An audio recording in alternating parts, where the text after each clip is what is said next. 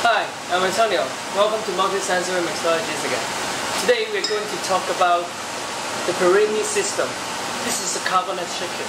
The good things about this, you can twist a classic cocktail which is not carbonate to become a carbonate. Today, I'm going to show you a sample gimlet.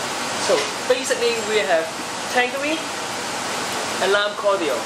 And I give a little bit twist of this by using a fresh grapefruit juice here.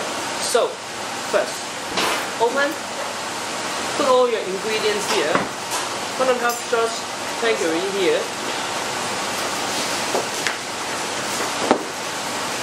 half cordial,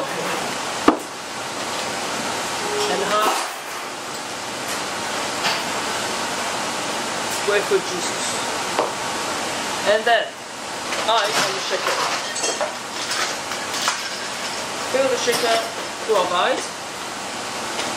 Close it. Put the gas in.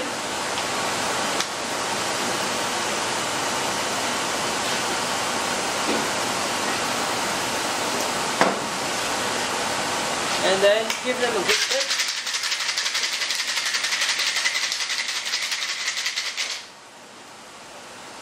Here for 10 seconds.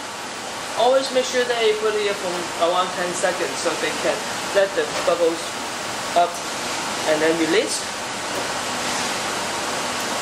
After that, twist. This is the feet and straight.